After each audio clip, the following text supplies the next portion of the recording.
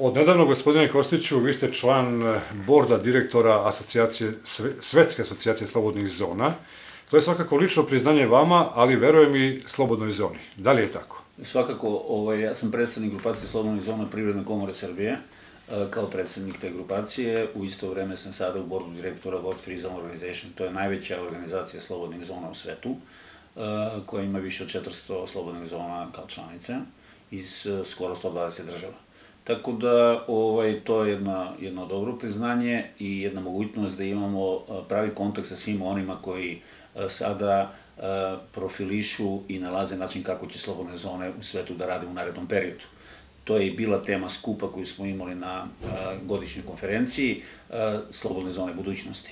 Druga tema je bila sigurne slobodne zone.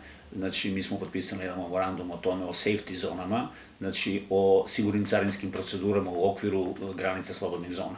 Tako da ovaj, sada sam u prilici da utičemo i na neke odluke same te svetske organizacije.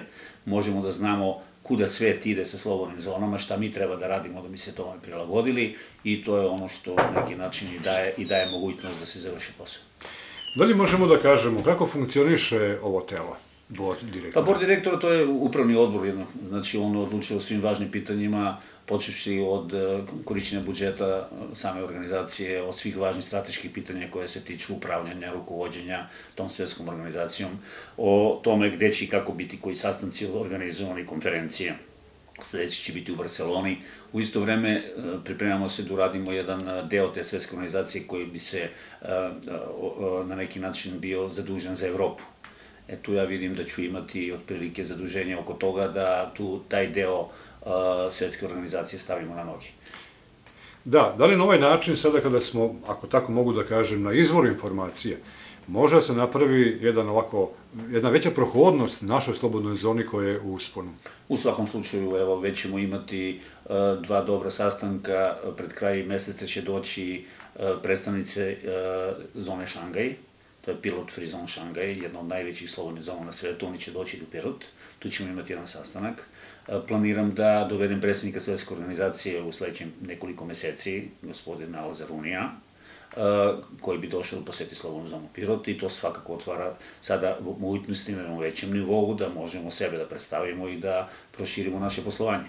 To je ono, mi ćemo predstaviti i naš logistički centar, zato što ovi kinezi dolaze da bi na neki način utrli put onome što je njihov predsednik rekao, znači one road, one belt. To je e, rani put svile, a sada je to e, njihova izvozna strategija e, Kine i oni će ovaj, dosta toga uložiti u to.